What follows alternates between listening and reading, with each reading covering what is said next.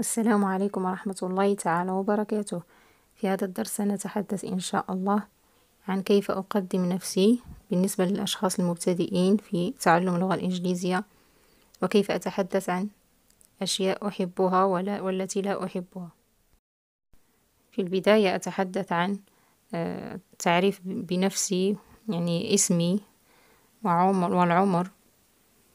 فنقول هاي my name is وأعطي اسمي I am العمر I am for example 12 years old I am from وأعطي اسم البلد أنا من There are five people in my family for example هناك أربع أشخاص أو خمس أشخاص في عائلتي وهما my father my mother my sister my brother and me My school name is اسم مدرستي هي وأعطي اسم المدرسة My favorite subjects are يعني المواد المفضلة لدي المواد المدرسية المفضلة عندي are math, French and science.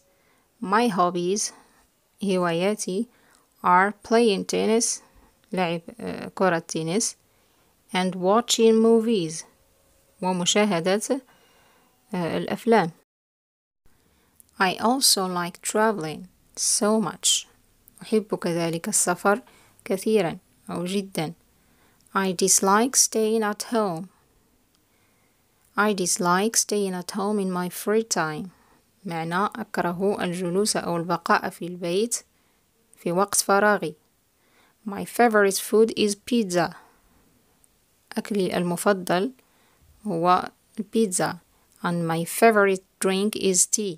وشرابي المفضل هو الشاي مثلا. أو coffee. يعني قهوة.